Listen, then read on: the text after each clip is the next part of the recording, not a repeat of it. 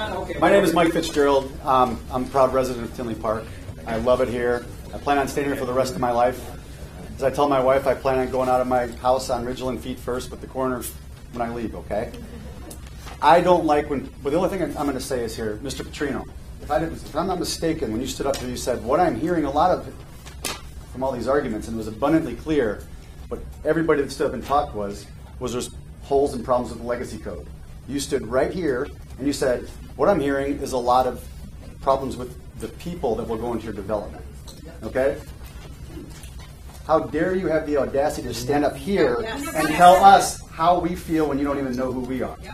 Thank you. So I'm going to tell you right now, that's not how I feel. My problem, and what everybody's seen on the on the uh, Facebook page that we've started and ran, is problem with how the government got this running. That's it. So don't come here and tell us that that's how we are and that's what we feel. Thank you.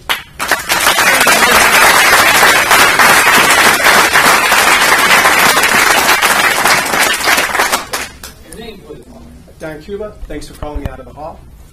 Um, Everybody here is giving arguments on the codes, why this building and this project should not go through.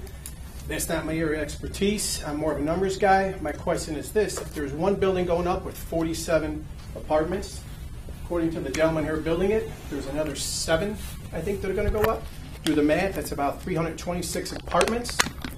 I don't know where that came from, Yeah, uh, quite frankly. from the drawing. I think Is that that was. from the drawing, that there's, that there's, this proposal There's a has... picture, Ms. Conley's plan actually has a picture that actually shows specifically with the roundabout that's no longer going to happen because of public opinion.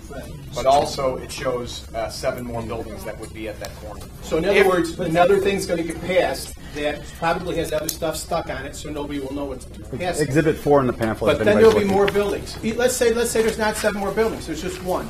So you have forty-seven people, forty-seven families going in, who are gonna use the schools, the police, the fire, and all the utilities in Tinley Park, all the services.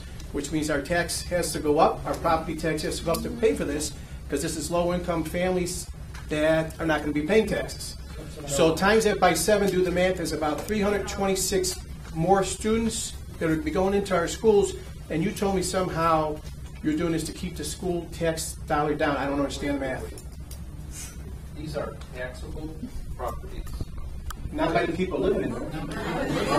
If you rent an apartment, you pay property tax? Property tax aren't the tenants, they're the landlords. Correct. So they will have a tax burden to pay. The Just as nonprofit you and I organization do. has a tax burden?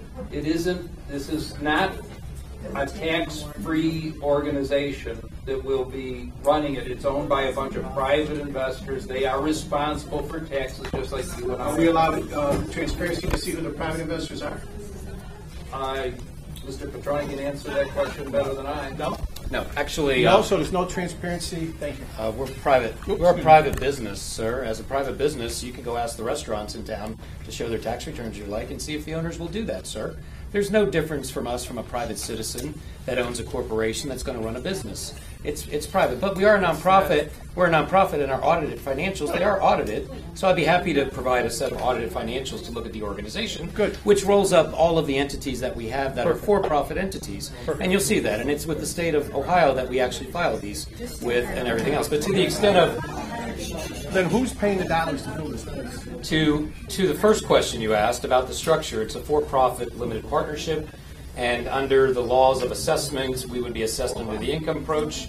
The income approach is based of your assessor's rules; they're very prescribed, and we'll pay the property taxes at the end of the day of whatever that tends to be.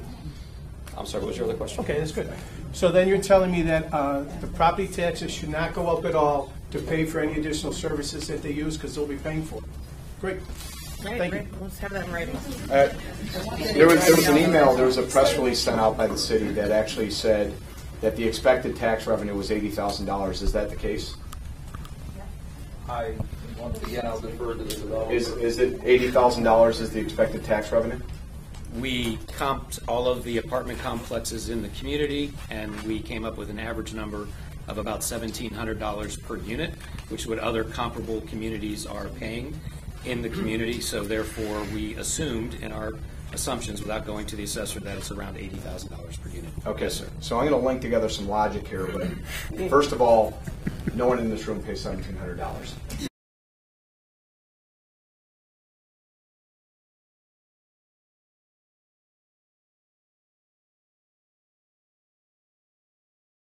My tax bill. Eleven thousand dollars.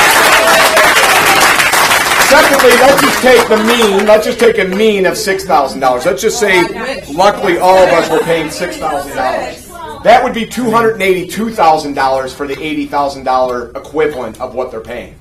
Forty-seven families, if they were paying the six thousand dollars mean that the rest of us were, that's what it would be. My son, when his card goes out for lunch, I refill it. Here is an important thing. There is an ongoing subsidy big important designation. In Tinley Park, this is a, a, a city with a big heart, and I absolutely think it's appalling that someone would come here and say this. We already meet the designation set forth by the city, we are set forth by the state. We exceed it. Okay, so to come here and say that we are not a generous community committed to helping other people is quite nonsense.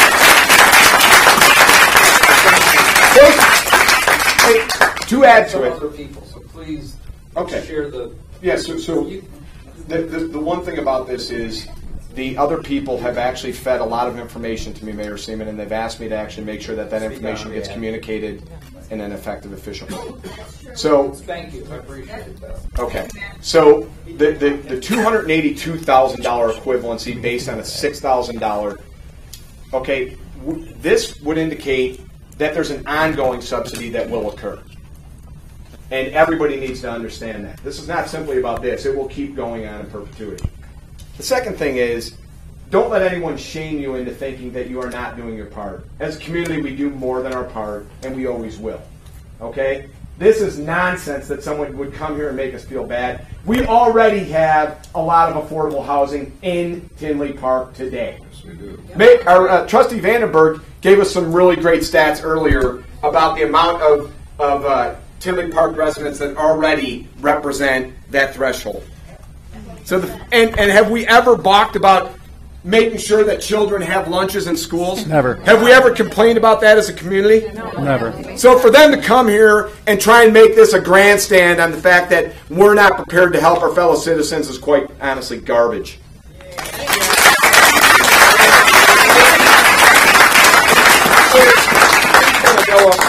I'm